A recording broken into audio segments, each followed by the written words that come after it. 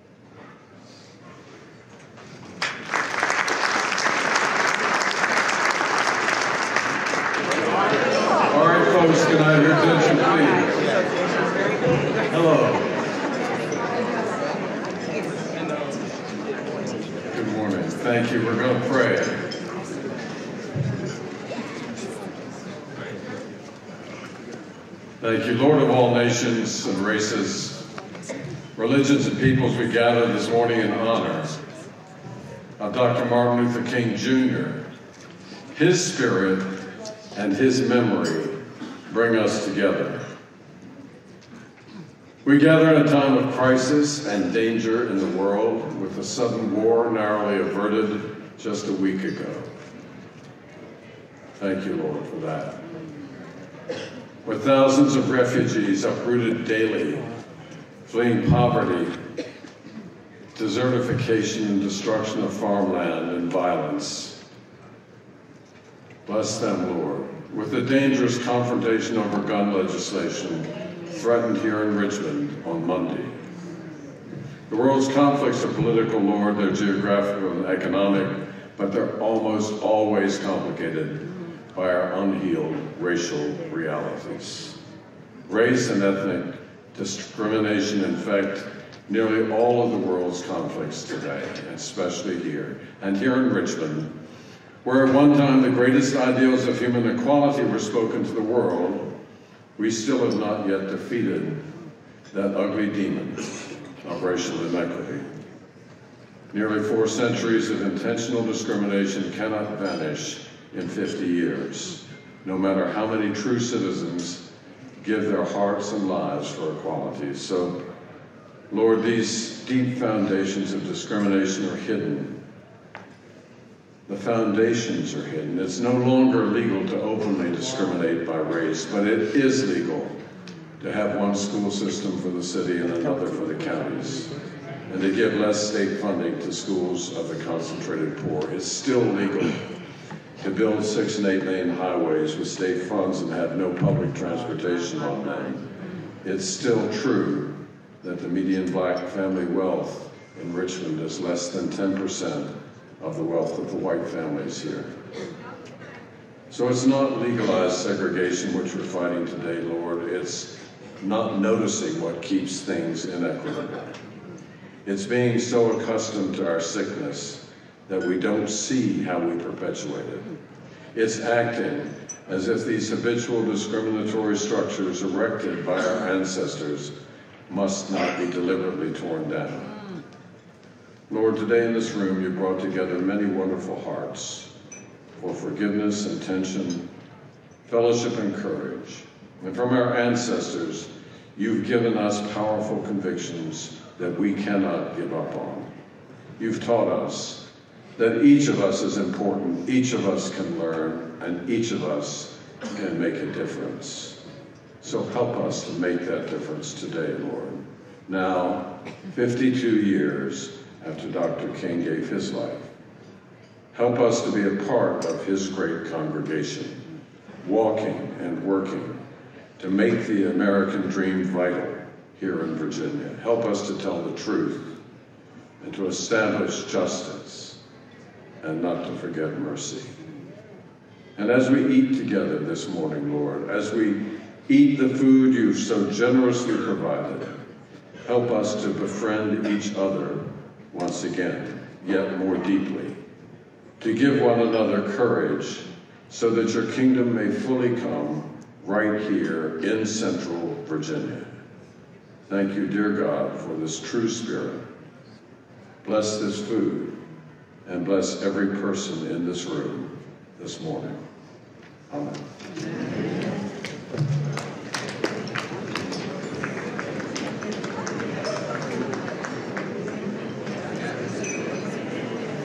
Ladies and gentlemen, please welcome our MC for this morning, Senator Jennifer McClellan, who represents the 9th District and is chair of the Dr. Martin Luther King Jr. Memorial Commission.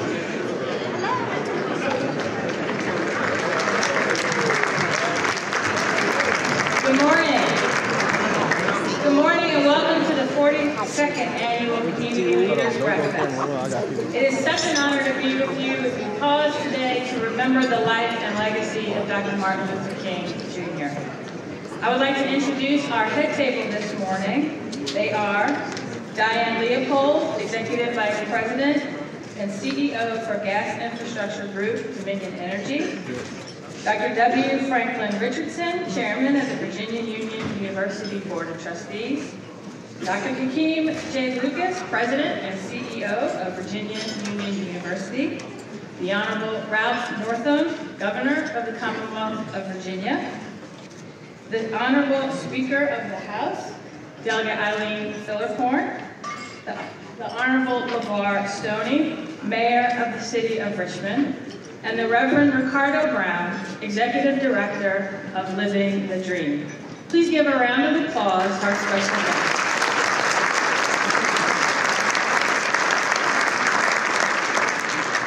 We have oh, you make a seat. Oh, I didn't know I had that much power. we have experienced some significant events in the Commonwealth of Virginia since we last came together for this gathering. We've had some very difficult discussions about race and reconciliation. After 59 years, the arrest records of our beloved Richmond 34 were finally expunged.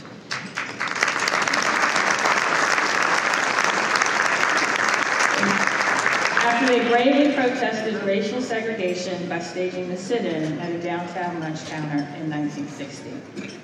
We have a new majority in the General Assembly.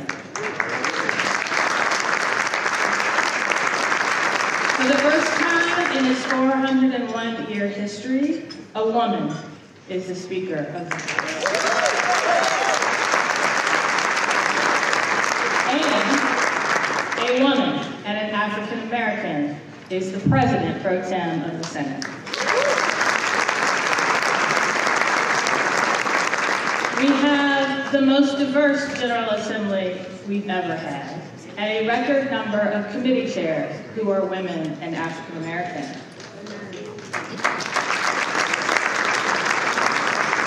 And we witnessed the unveiling of Rumors of War, depicting an African American man mounted on a horse, inspired by and reclaiming the image of a Confederate monument. We have a lot to remember and celebrate today. 2019 was a significant year, and it moved us forward in a way I think Dr. King would be proud of. You will notice today's program is a little bit different from previous years as we are mindful of your schedule. Our program will end in one hour. You can applaud. So first we will have Virginia University Concert Choir sing the national anthem and lift every voice and sing. Followed by, uh, our, well you probably will have breakfast served. Derek sang, okay. they were good. They were so good, we want to hear them again. Please enjoy your meal this morning as our sponsors' logos roll on the screens. And at this time, we will receive greetings from Dr. W. Franklin Richardson, uh, Chairman and CEO of the Virginia Union Board of Trustees, and the 13th President and CEO of Virginia Union, Dr. Hakim Lucas.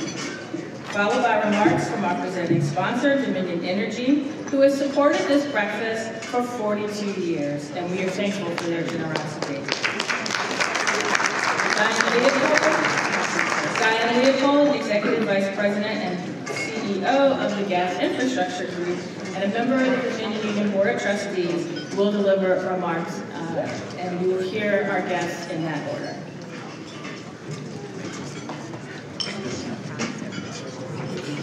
Good morning. I planned to take that whole hour, but I guess I have to cut it back let me say that we are at Virginia Union delighted to welcome you to this historic and celebrating event that we've hosted across the years.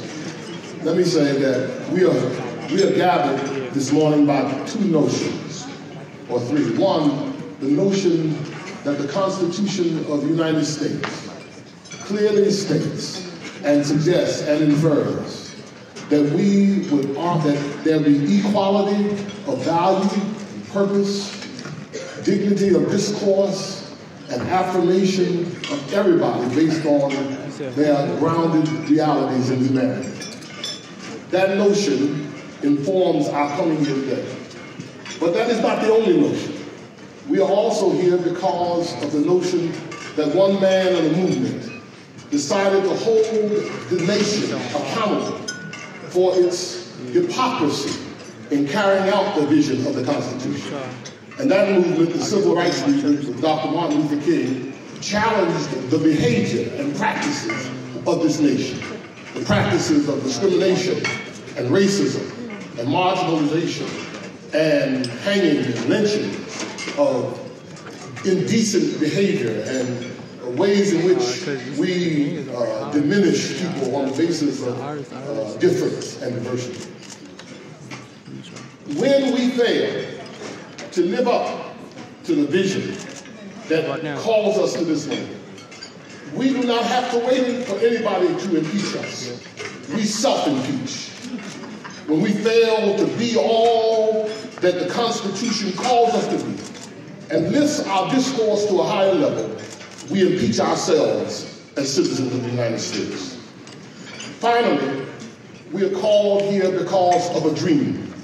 A dream that things will get better, that the, that the mountains will be made low, the valleys will be exalted, and the crooked places will be made straight. We are called here to participate in that dream and to fulfill that dream, not to have breakfast, not to sing Kumbaya, but to in fact engage ourselves in activities that continues to transform America to realize its potential and vision. So today, Virginia Union University, born in Lumpkin's Jail in the slave quarters, has called us together together to announce and to affirm our commitment to the dream of a world where all people are celebrated. We have come here, the sons and daughters of the oppressed, That's I go anyway. and the sons and daughters of the oppressor.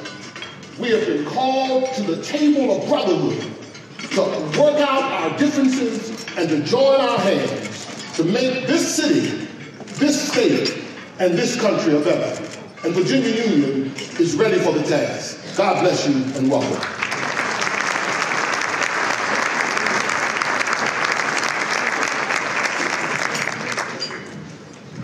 Good morning, everyone. Good morning. Good morning, everyone. Good morning, everyone. Good morning. Welcome to the 42nd Annual Community Leaders Breakfast, honoring our beloved Martin Luther King Jr. Please put your hands together. Today I have the honor to stand before you and initiate the thanks to all of those who are in the room for this occasion. First, uh, I would like to recognize the Board of Trustees of Virginia University. They all of you present, stand, wave. And while we are doing that, uh, we have our 12th president. You all know him, Dr. Claude Perkins. Please raise your hand. Ms. Perkins. Of course, uh, the honorees, please stand. Uh, Virginia Legislative Black Caucus, all of you, and Chairman Bagby, please. Thank you. Thank you for all of you here. Of course, to our governor, our lieutenant governor, to Speaker uh, Filler-Corn, to uh, Senator Spanberger, uh, to Representative Bobby Scott, and to Senators Mark Warner, Tim Kaine, and Representative McEachin, uh, to our mayor, uh, you can wave your hand. Uh, thank you for being with us. And more importantly, to reflect the diversity in the room and the celebration of the legacy, uh, we would like to thank 12 corporations, I'll name you all, 12 corporations, 20 community groups, four colleges, three alumni groups, two news and media venues, 30 choir members, and 20 student volunteers that have all supported in their own way. Please clap for them. Specifically, our presenting sponsor, Dominion Energy, thank you so much. And Trustee Leopold will speak on the behalf. To our platinum sponsor, McGuire Woods, thank you all for always being supportive. to our gold sponsors, Altria Group, CarMax, SunTrust, and Wells Fargo. We appreciate all you do to help us stand on the shoulders of greatness and to, to talk about and to signify the unity that is so much needed in this time and space in our country and our nation and in our city. I want to pause for just a moment to acknowledge a colleague of mine who is also on our battlefield of historically black colleges and universities. He and his wife, they are here. Uh, President McCullough, can you please stand? The illustrious president of Virginia State University. If you don't mind me plugging a little event that is coming, uh, if you want to continue to celebrate uh, MLK in this weekend, on um, this uh, Saturday, you will see the Virginia Union Panthers defeat Virginia State Trojans at, at 4 o'clock and 6 o'clock. Uh, Ken Johnson is here. He'll give you all the information at the Freedom Classic this weekend. Uh, please come join us. Uh, he, might win one or two, uh, who knows. But what we're going to do is stand together, be excited, and celebrate the greatness of this weekend. So thank you for coming, Brett I know there's some Trojans in the room, so clap for your president. All right, 10 seconds, that's it. Thank you. Last but not least, Virginia Union University continues to stand in this uh, sacred moment of time to celebrate the visible unity of all of us in the room today. And once again, this is the realization of Dr. King's dream of visible unity of people in the community standing together for that which is most sacred, the uplift of us all. And for this, we should also clap one more time. We would not be here, nor would the dream continue to live if it wasn't for the young people, this generation that we dare to educate, train, mentor, and lead. So students, alumni, all of those who have gone to HBCUs, can you please stand and be honored at this moment?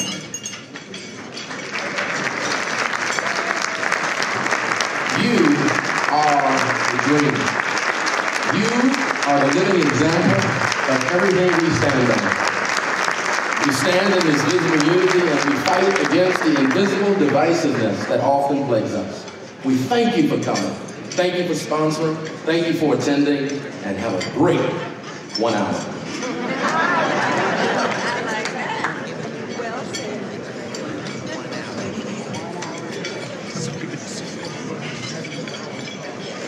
Good morning, everybody. Morning. This is my fourth year speaking at this event, and I'm grateful to have been invited back because it's one of my favorite events of the year. And while it's gotten much larger over the years, I almost feel like it gets smaller just because of the sense of community that we have in this room this morning. I'm truly inspired by the work of the leaders in our community, like the ones who we are honoring today, and I'm also filled with a renewed sense of purpose as I take the time each year to reflect on the incredible work of Dr. King. It's also my fourth year as a member of the Board of Trustees of Virginia Union, and I continue to be energized by the great work that Union does both on campus and throughout the Richmond region. It's also an honor to be with so many distinguished guests and speakers who join me up here today. This morning, I'd like to share some words from Dr. King's street sweeper speech about the three dimensions of a complete life that he delivered in Chicago less than a year before his death. The first dimension is the length of life. It's the inward concern for your own welfare. Dr. King tells us that we should all strive to be the best at whatever we do. In his most famous passage, Dr. King tells us that if we are a street sweeper, we should sweep the streets like Michelangelo painted pictures, like Handel and Beethoven composed music, and like Shakespeare wrote poetry. All of our life's work matters. But Dr. King tells us we must pursue deeper meaning through the second dimension of life that he calls the breadth of life, the outward concern for the welfare of others. In order to truly live a meaningful life, we must dedicate ourselves to the broader concerns of all humanity. There is nothing greater in life, Dr. King tells us, than to do something for others. He then implores us to go further and look higher. The third dimension, the height of life, is the upward reach for the universal. As a man of deep faith, Dr. King, of course, was talking about God. We can all answer Dr. King's call to extend the reach of our lives beyond earthly concerns and dedicate ourselves to something more universal. As academics, we must pursue knowledge and truth. As public officials, we must pursue justice and equality. And as leaders, we must be careful stewards of the environment.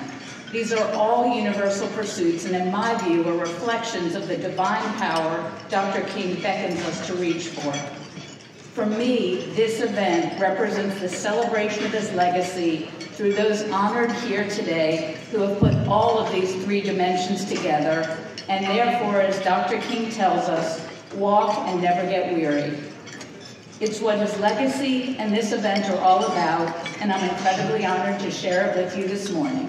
Thank you.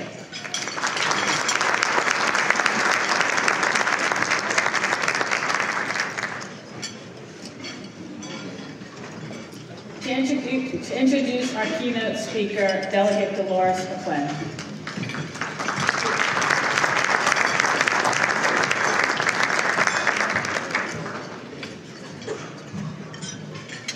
Good morning. Good morning. Good morning.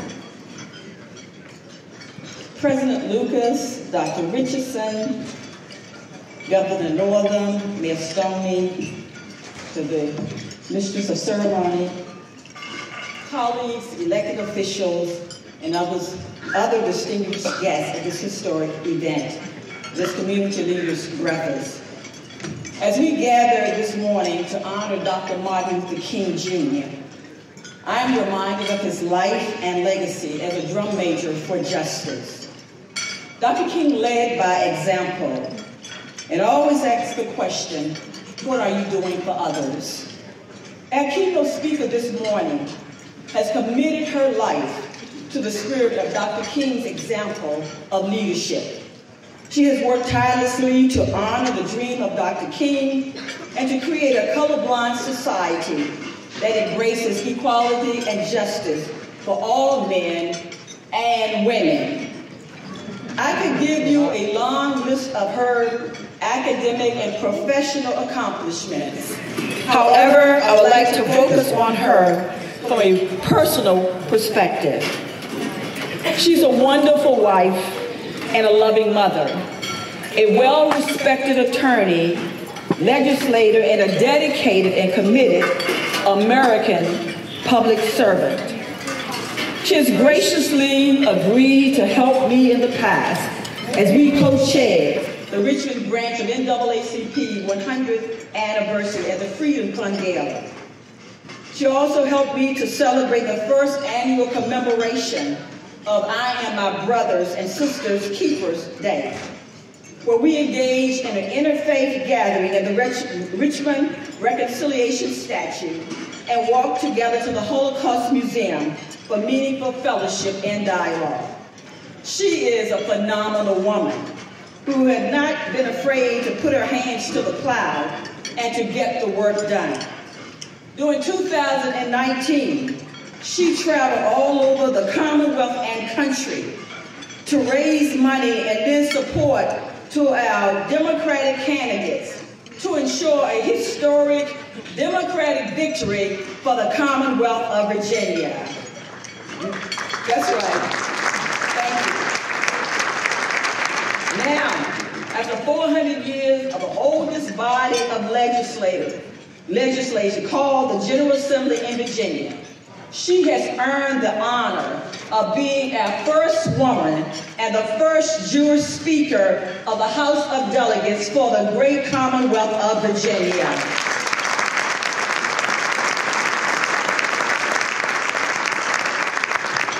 Finally, in her nine days of groundbreaking leadership, she has placed historically underrepresented people in leadership roles as committee chairs in the Virginia House of Delegates and was very instrumental in getting the ERA finally passed in the state of Virginia.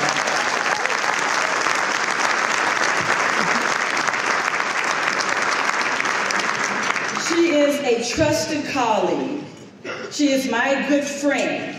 And at this time, I am honored to introduce to some and to present to others the Honorable Arlene Filler-Corn, the Speaker of the House of Commonwealth of Virginia.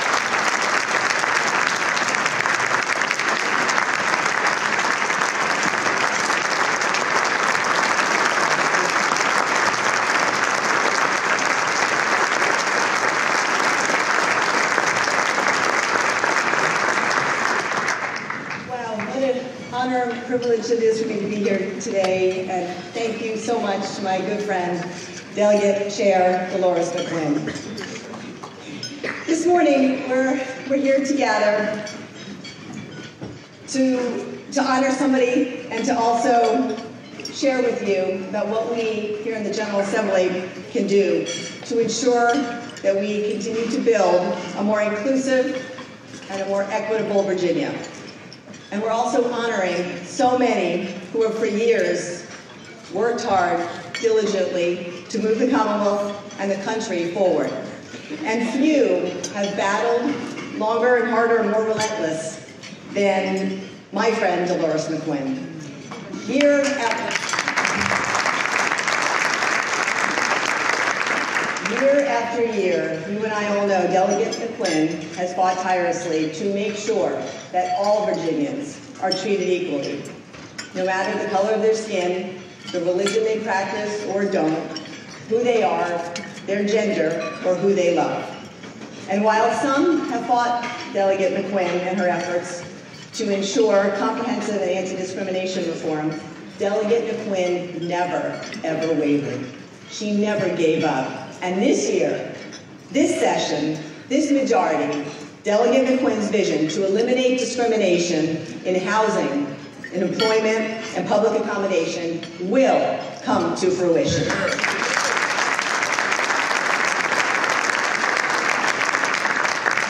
This perseverance and this commitment is why we all love and respect Delegate Delores McQuinn.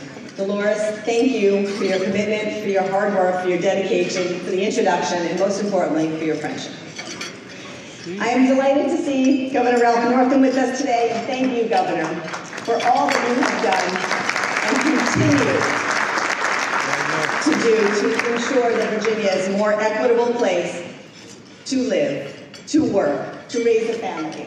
And it's my great honor to work with you and your fabulous team as we continue to move the Commonwealth forward. And thank you, President Hakim Lucas, Chairman Franklin Richardson and Virginia Union for having us all here for the 42nd of this important gathering. I also would like to congratulate the Virginia Legislative Black Caucus this morning. Later, they'll be receiving Virginia Union's 2020 Martin Luther King Award for their civic leadership. And thank you to my friends, Chair Lamont Bagby, Vice Chair Jennifer McClellan, and so many others, all that you, for all that you do in the Legislative Black Caucus to ensure that our Commonwealth is a better place for all Virginians. Thank you. Dr. Martin Luther King, the inspiration for our assembly today, would have turned 91 years old on Wednesday. And while Dr. King was taken from us far too soon, far too young, his words, his wisdom, and his vision are truly timeless. It was Dr. King who said, quote, the arc of the moral universe is long, but it bends towards justice. In Virginia, this moral has indeed been very long. Our Commonwealth has had some very high highs and some very low lows. This legislative session, we are looking to heed Dr. King's words and truly taking action to bend the, our more, to bend our moral arc in the Commonwealth of Virginia sharply towards justice. We have a unique opportunity to correct course on so many injustices of the Commonwealth's past and to create a safer, a more inclusive, more prosperous Commonwealth for all of our citizens. For starters, starters, this General Assembly and its leadership will look more like the Commonwealth of Virginia. We have the first woman and person of color to serve as the House Majority Leader in Virginia's history, my friend and yours, Charniele Herring. We have the first person, of, person, woman and person of color to serve as President pro tem of the Virginia Senate in Louise Lucas. For the first time, we will have women of color lead committees in the House of Delegates part of the most diverse group of House committee chairs and vice chairs we have ever had, including Chair Delores McQuinn. And yes, it is my great privilege to serve as the first woman speaker of the Commonwealth's history. Only will our leadership reflect a more open and welcoming and equal Virginia, we will take action to ensure that our Commonwealth is more just. This session, we are going to make meaningful and lasting changes to Virginia's criminal justice system. For far too long, wealthy and well-connected communities in the Commonwealth have received better treatment under the law than those in lower income and minority communities. That is why we must dedicate ourselves to creating a fairer criminal justice system in Virginia that reduces the problem of over-incarceration and criminalization of poverty. Far too many of our children are being taken out of the classroom for long periods of time as a result of onerous school discipline.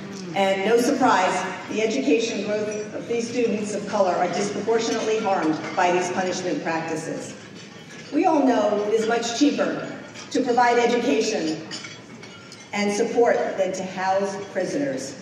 We must and we will put an end to the school to prison pipeline in the Commonwealth of Virginia. And this year, we will not only make our criminal justice system fairer, but also our democracy. In a 1957 address from the steps of the Lincoln Memorial titled, quote, Give Us ballot, Dr. King said that, quote, so long as I do not firmly and irrevocably possess the right to vote, I do not possess myself. I cannot make up my mind. It is made up for me. I cannot live as a democratic citizen, observing the laws that I have helped to enact. I can only submit to the edict of others, end quote. Those words and that spirit must guide us this session.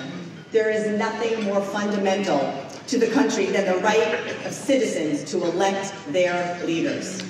This session we must and we will expand the right to vote in the Commonwealth of Virginia. And that means, yes, we will get rid of Virginia's voter ID law. Restriction was put in our code to solely restrict communities of color from access to the ballot. It is a new day in Virginia, and we are committed to taking this onerous law off the books. One. Working Virginians, parents, and the elderly who cannot make it to the polls on election day should not be scrutinized nor punished. They should be encouraged to vote. This session, we will ensure that Virginians have 45 days of no excuse absentee voting. We will also pass legislation that makes Election Day a state holiday.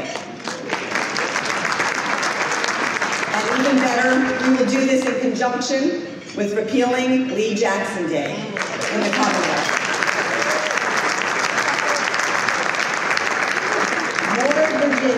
Participating in our democracy will make the Commonwealth stronger. And while we ensure that every Virginian has the time to cast their vote, we will also end the practice of honoring two men, Robert E. Lee and Stonewall Jackson, who stood against everything we here in this room represent.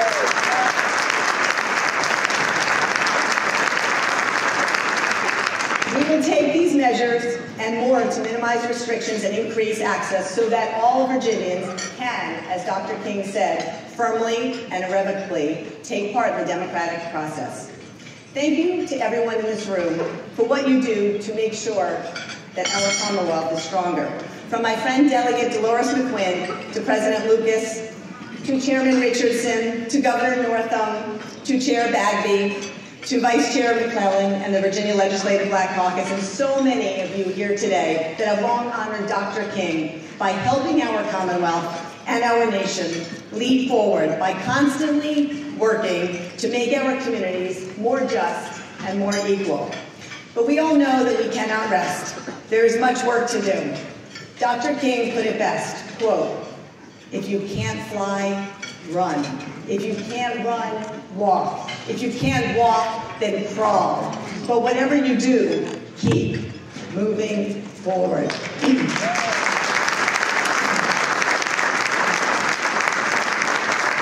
we have here the unique opportunity to fly.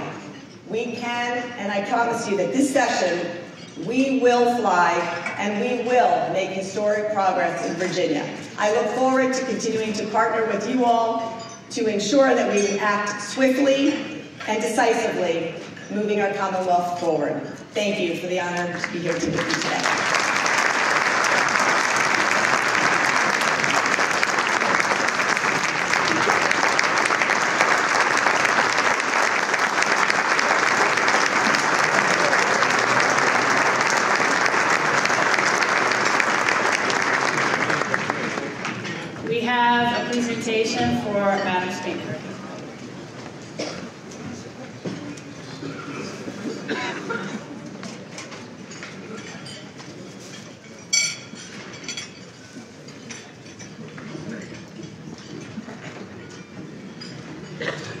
I now have the honor of introducing the 73rd Governor of the Commonwealth of Virginia, Ralph Northam.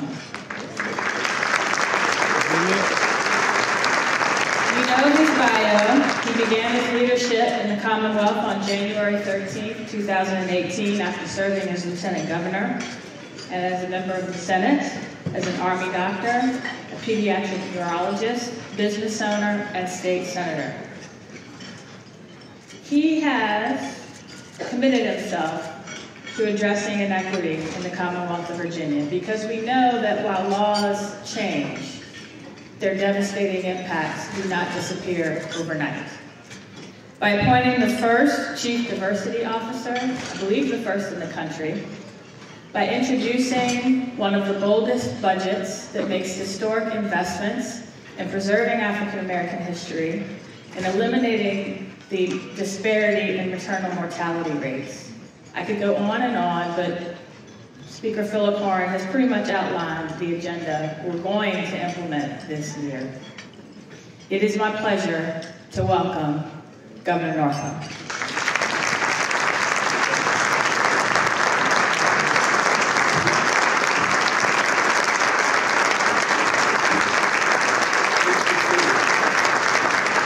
good morning and Happy New Year. Thank you, Senator McClellan, for the kind introduction, and also thank you for your leadership uh, in the Senate and all that you do for our great Commonwealth. It is it's great to be back here at the annual breakfast, and I, I know that you all want to leave by 8.30, but they said that I had a couple hours, so please uh, make yourselves comfortable this morning. But you know, I have gone to this breakfast for a number of years, and it's just wonderful to see how it has grown. And that just speaks to the power of Virginia University and, and your leadership. So thank you. It's also great to see all of our elected officials. I, it's impossible to uh, to recognize all of them. I know our Lieutenant Governor Justin Fairfax is with us this morning. Thank you for being with us.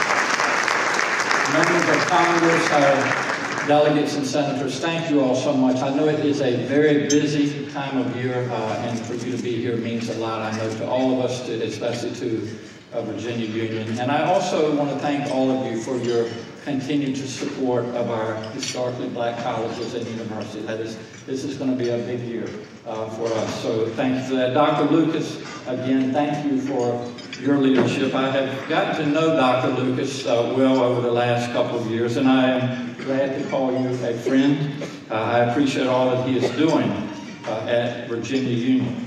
And I have visited Virginia Union several times in the past few years, and I am always impressed at how hard your school works to prepare its students to go out into the world and have just a tremendous impact. So congratulations to you for, for all that you do. And speaking of a lot of Panthers that are doing good things uh, in our uh, world, if you will, uh, my pastor uh, over on the Eastern Shore of Virginia, uh, First uh, Baptist in Capeville, is the Reverend Kelvin Jones, who was with us last year. He's not here today, but he is a, a graduate of 2004 of Virginia Union. So Uh, thank you for uh, letting us have him on the Eastern Shore.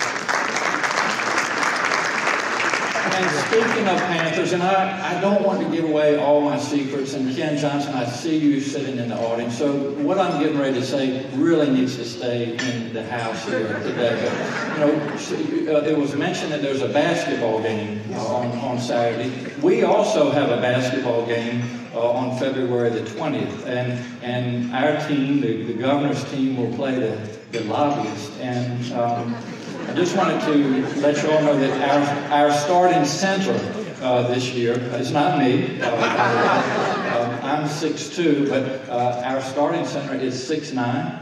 Uh, he graduated uh, from Virginia Union in 1996. He, he wears the number six on his jersey. He also played for the Detroit Pistons. none other than Ben Wallace will be on my team. And as you, tell, we plan to win But it is an honor to be here with you this morning as we remember the important legacy of the Reverend Martin Luther King Jr. As you all know, Dr. King visited Virginia Union many times to teach and speak. And among other things, he inspired the Richmond 34 to hold their sit-in at Thalhimer's lunch counter that eventually resulted in the desegregation of that store and other department stores. I have been privileged over the past year to get to know some of the members of the Richmond 24, and I've had the opportunity to thank them for their courage. Dr. King taught them and taught us all to meet violence with peace and hate with love. And that can be hard to do sometimes. It seems especially hard for people these days. We have so much going on at the national level and in our state and in our communities. People seem to be increasingly divided from one another. We mistrust our neighbors who believe differently than we do, and we are increasingly angry at each other. But this is no way to be. This is not good for our country, our communities, or ourselves. And it's not how we want our children to grow up. So I hope that we can get back to treating each other with respect and civility and with compassion. I hope we can remember to treat others as we would want to be treated. Dr. King said, darkness cannot drive out darkness. Only light can do that. Hate cannot drive out hate. Only love can do that. I hope we can remember his lessons, not just one day a year, but all of the, all of the days. I believe it is important to make sure that everyone understands what Dr. King was fighting against the deep rooted discrimination and oppression that he and so many others, like the Richmond 24 were working to overturn. We must make sure we're telling the full and true story of that history, from slavery through Reconstruction and the terrors of the Jim Crow era and the Civil Rights Movement. And we must realize that black oppression continues today just in a different form, and we must work to address it.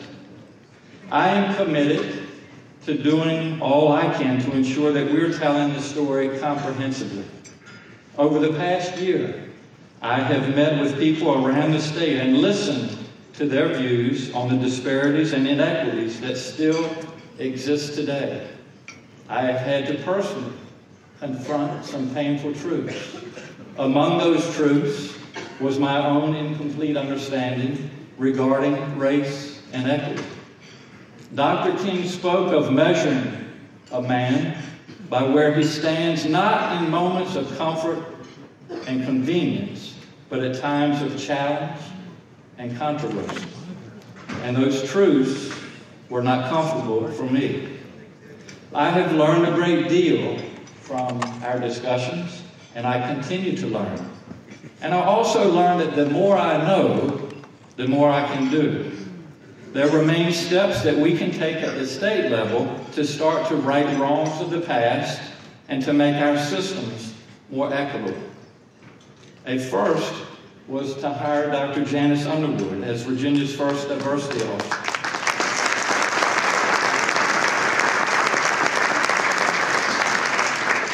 I don't think any other state has someone in this kind of a role, and trust me, she has hit the ground running. Dr. Underwood is working to help lead equity initiatives and legislation across our administration and in our state agencies. Please join me in welcoming Dr. Janice Underwood. Janice, please stand.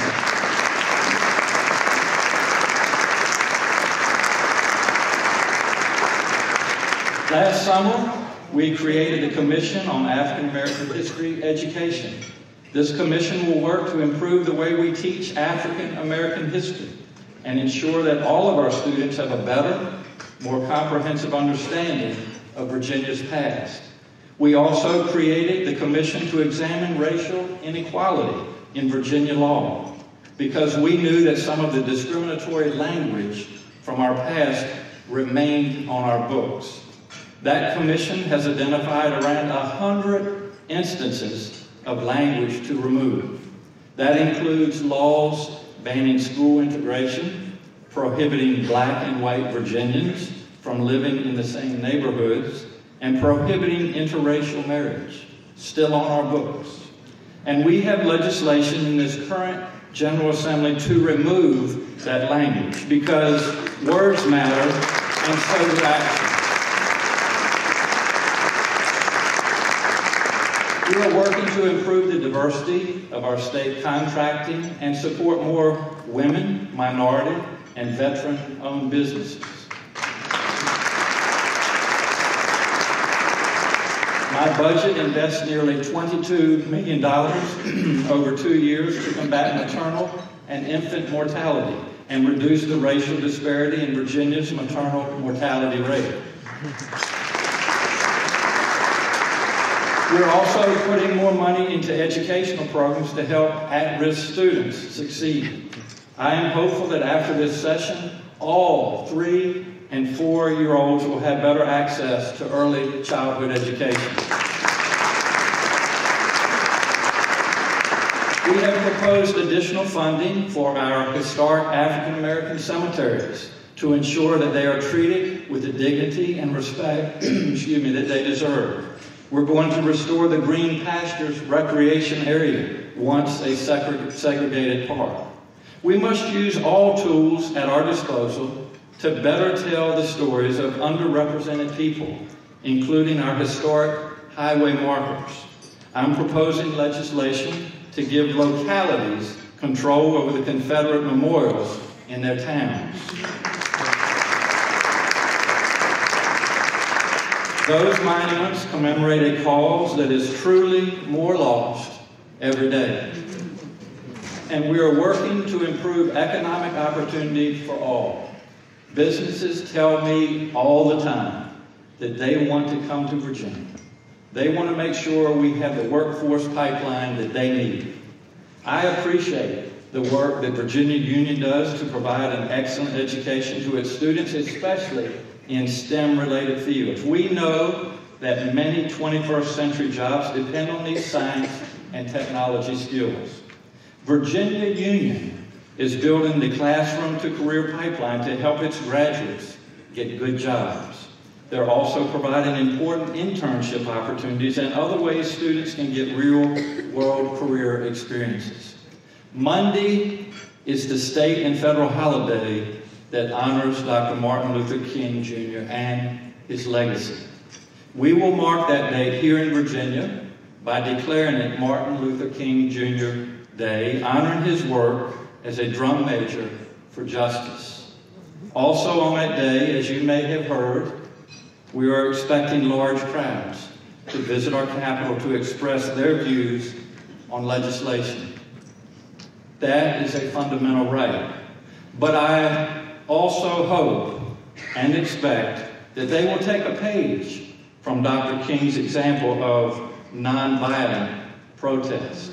Dr. King spoke of resolving conflict through love, and that is the best way that we can honor his legacy every day of the year. Thank you all so much, and God bless you.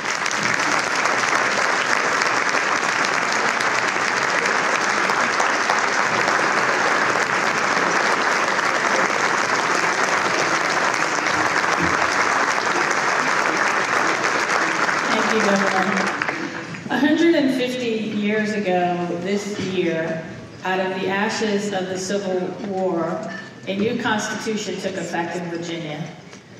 One of the important milestones was it established for the first time a system of free public education in Virginia. 22 of the members of that constitutional convention were African American men. Today, it is my pleasure to ask to stand and be recognized the current chair of the House of Representatives Education uh, Committee, our own Congressman Bobby Scott.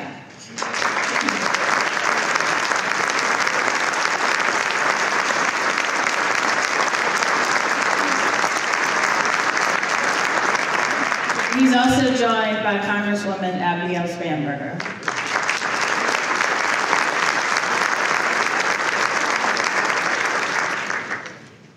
Each year at this breakfast, we recognize the life work of community leaders and game changers from our Commonwealth. This year, we recognize 23 people who reflect the principles that emulate what Dr. King lived and died for throughout his short life. Also 150 years ago, the first African American men began their service in the General Assembly. 21 in the House, 6 in the Senate. 35 years ago this year, the first African American woman, Yvonne Miller, began her service in the House of Delegates. I'm proud to be a member of the caucus that continues their legacy. And today, the 2020 Dr. Martin Luther King Jr. Award for Civic Engagement goes to each member of the Legislative Black Caucus.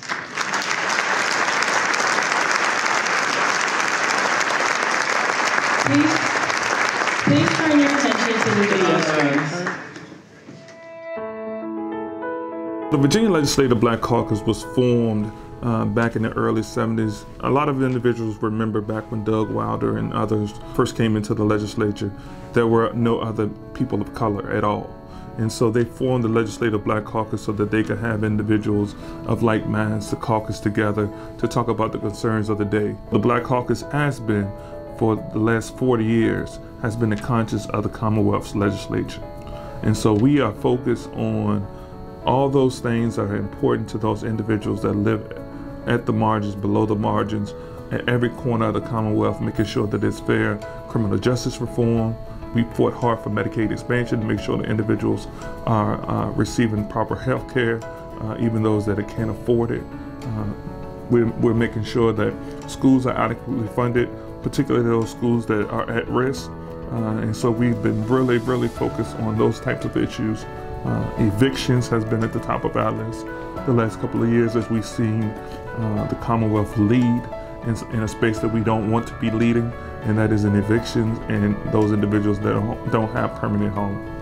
Focusing in on, on Dr. King's legacy means a great deal to us uh, as we pause during the legislature uh, to recognize his contributions. Uh, we're still working on some of the things that he worked on. We're still working on those things today. Uh, we're fighting right now to raise the minimum wage, which he was focused on in his last days.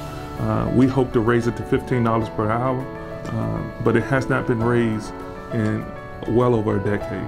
I'm so excited that seven out of the 14 uh, committees in the House of Delegates are chaired by, will be chaired by uh, Black Caucus members. Uh, all these individuals have, have come here thinking about the legacy before us, working on the issues that have been worked on for, for, for many decades. Uh, as we look at 400 years uh, of African Americans in the Commonwealth of Virginia, uh, that in itself uh, is a lot to think about. This is the first time in the history of the Commonwealth in which African Americans will be leading the way. Uh, we have appropriations where we focus on, in on not only fully funding our pre-K uh, through 12 schools, but also our higher ed, not only our private, but also our public. And so Luke Torian is going to lead the way in making sure that our HBCUs get fully funded uh, and adequately, adequately funded. Uh, we also increasing the number of, of school counselors in our schools to make sure that those ratios are appropriate. The Community Leaders Breakfast is not only important because it honors the legacy of Dr. Martin Luther King Jr., but it also offers an opportunity for us to continue to build as community leaders. This is where individuals go not only uh, to celebrate the legacy, but also to build with one another. I mean, we oftentimes don't see each other uh, all together in one room uh, until this breakfast. And so um, the energy in the room for the breakfast is always, uh, in my opinion, really inspiring. Uh, just to have so much wealth of knowledge and wealth of passion uh, for the issues that we fight for day to day in one room. And so, even though it's a during session, members of the General Assembly very seldom miss the breakfast because it's so important.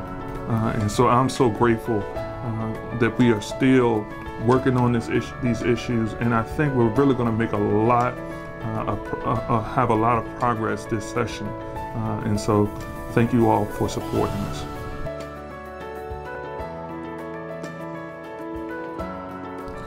Delegate Lashrecse Aird Petersburg, Delegate Hala Ayala, Prince William, Delegate Lamont Bagby, Henrico, Delegate Jeff Bourne, Richmond, Delegate Jennifer Carroll Foy, Prince William County, Delegate Cliff Hayes, Chesapeake, Majority Leader Charniele Herring, Alexandria, Delegate Jay Jones, Norfolk, Senate Majority Leader Mamie Locke, Hampton, Senate President Pro Tem Louise Lucas, Portsmouth, Senator Jennifer McClellan, Richmond, Chair of House Transportation Delores McQuinn, Richmond, Delegate Marcia Price, Newport News, Delegate Sam Rasoul, Roanoke, Senate Majority Whip Lionel Spruill, Chesapeake, Chair of House Appropriations Luke Torian, Prince William County, Chair of House Education, Ross Tyler, Sussex, Chair of Commerce and Labor, Jeion Ward, Hampton, Delegate Josh Cole, Prince William County, Delegate Alex Askew, Virginia Beach, Delegate Don Scott, Portsmouth, Joe Lindsey, Chair of Privileges and Elections, Norfolk, Delegate Clinton Jenkins, Suffolk,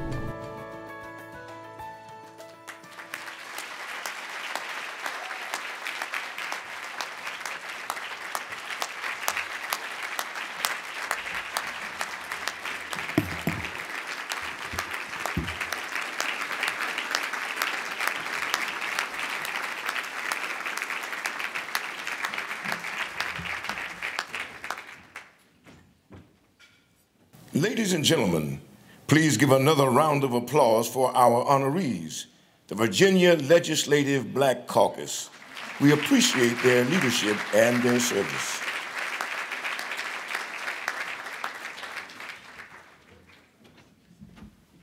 Good morning. Good morning. I almost said good morning, this branch of Zion. Uh, but good morning, and I do want to say uh, glory to God for for all these faces that he has assembled in his place today. Uh, glory to God for what he has been able to force us to do as it relates to advocating for our communities. And glory to God for Virginia Union University, its president, and Dr. Richardson. Uh, thank you all for honoring us this morning. It feels like the BET Awards.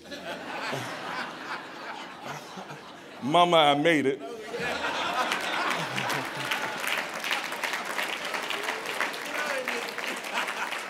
But you know, when I first came into the door, and, and, and last year around this time, I got a little emotional on the floor uh, talking about those individuals that uh, came before us. And when I came through the door, I saw Frank Thornton, who was the first African American to serve uh, in Henrico County. Then I looked the other way and I saw a guy I've been trying to chase down. The mayor and I have been trying to take Henry Marsh out to lunch for about three months now. So I saw Henry Mar- Marsh and he said, he said to, to me, job well done. And you don't know what that did to me. Then I saw, we call him Uncle Bobby. We saw Congressman Bobby Scott. You're not to applaud.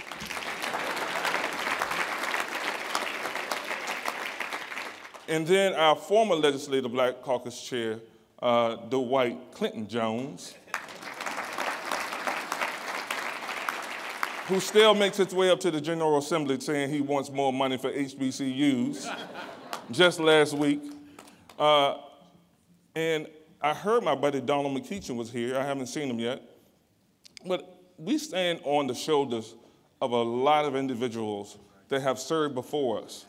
And one thing that you, I, I respect about Dr. Martin Luther King was he empowered others. So even after his death, so many of the individuals that st- served alongside him were able to lead on their own accord. And that's the same legacy we want in the Virginia Legislative Black Caucus. The same issues that he was fighting for then, we're fighting for now. And I'm so glad, uh, Governor, that you put so much money uh, in your budget for HBCUs.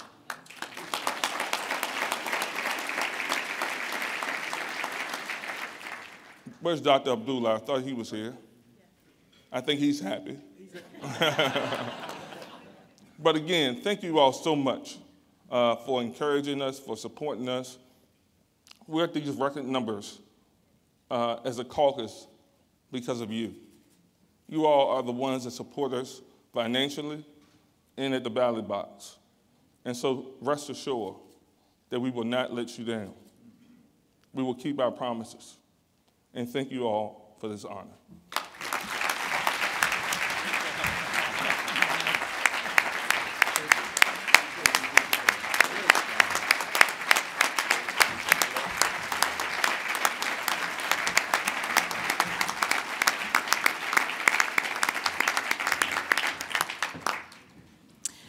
Hope you are enjoying the breakfast this morning, but it is only one of many events over the weekend that will celebrate Dr. King's life and legacy. And I'd like to invite you to attend an event tomorrow co hosted by the state's Dr. Martin Luther King Jr. Memorial Commission and Virginia University at the Allix B. James Chapel uh, inside Coburn Hall. We are screening a documentary and discussion and having a discussion of the HBCU Storyteller Project's docuseries 400 Years Free-ish. The documentary filmmakers include students from here. It tells the story of a monument that the commission is building to honor to celebrate emancipation and freedom, but recognizing emancipation was not a moment, but a process and that freedom was a long journey we are still working on. We will honor 10 African American Virginians, five who fought against slavery, and five who fought for equality and justice after the Civil War, including Virginia Union's own Wyatt T. Walker. But monuments cost money. So while the screening is free for students, Tickets are $25. We have sponsorships of many levels. If you are interested, let me know. And we welcome you to come and watch that screening tomorrow. For more information, you can contact Lily Jones, who is here, uh, or you can reach her at ljones at dls.virginia.gov to reserve your tickets. I want to thank all of our sponsors here today. And in just a few moments, we will hear remarks from our mayor, LeVar Stoney, followed by announcements from Reverend Ricardo Brown, the co pastor of Fifth Baptist Church and executive director of Living the Dream. We will then have a special presentation by CBS 6, and Reverend Brown will give our introduction. But first, I want to thank you all for your attendance today. Please leave here understanding our work is not done. The arc of the moral universe needs help bending towards justice from each of us. We have not yet achieved Dr. King's vision of a beloved community. The threats we face this weekend and as we go to work on Monday show that. But just like Dr. King knew that what he was doing caused people to hate him and want to stop him, we know that too. We will not be deterred. We will continue to fight to make his dream a reality here in the Commonwealth of Virginia and beyond.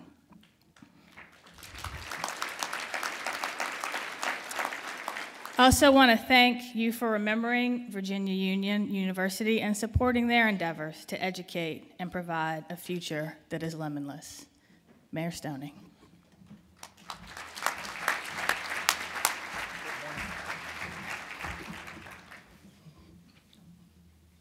Well, thank you, Senator, and good morning, everyone.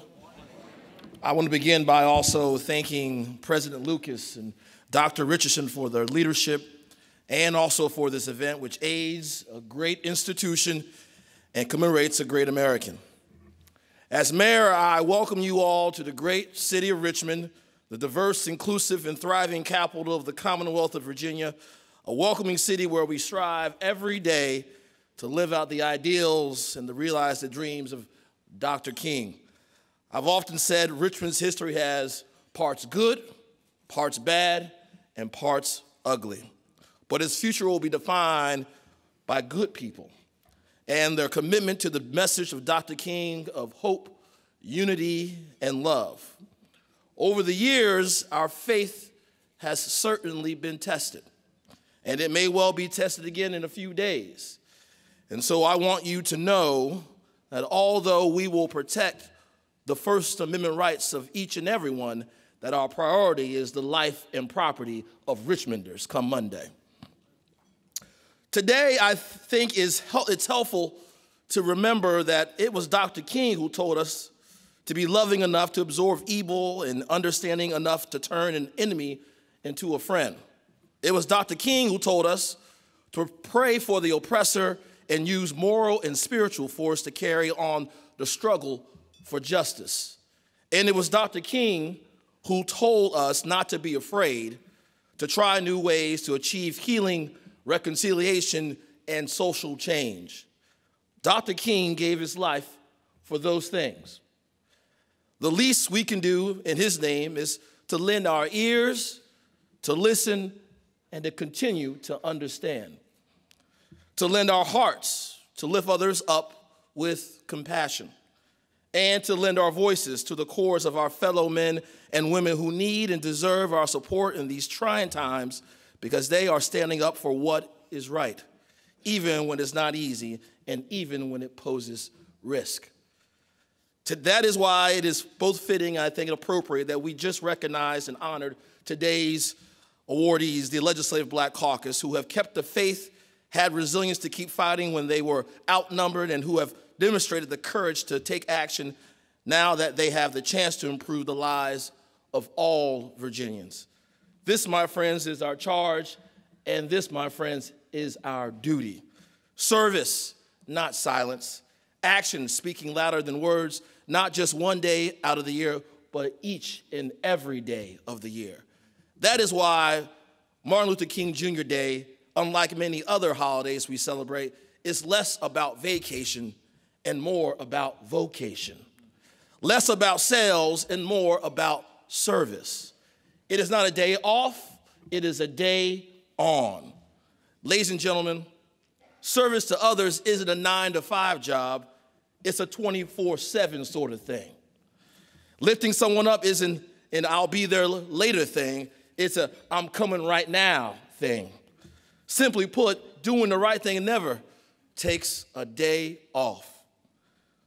See, VUU, Virginia Union University, knows this because Virginia Union University lives this. That's why you're here, and that's why I'm humbled and honored to be here with you today and working with you side by side in service to live out the dreams of Dr. Martin Luther King envisioned. Lastly, I would be remiss to not recognize there will be a basketball game played 21 miles away at the Virginia State University Multipurpose Center.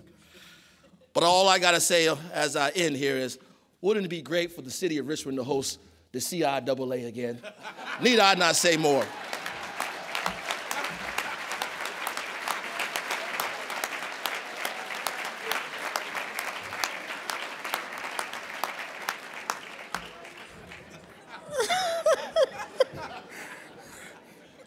Think that was in his manuscript. All right, we gotta go. We gotta go. Will the members of Living the Dream and the State King Commission please stand? Will you please stand? King Commission as well as Living the Dream. Thank you. Thank you. On Monday at the 6th Baptist Church, where Reverend Yvonne Bibbs is the pastor, we will honor students in our public school system and Mrs. Charmaine Crowell White, a retired teacher from Chesterfield County, will do a one woman show, Harriet Tubman, on Monday at 10 a.m. at the 6th Baptist Church. I wanted to let you know that the honoree that Channel 6 was going to honor is not here. So um, that will not take place. Please stand for the benediction.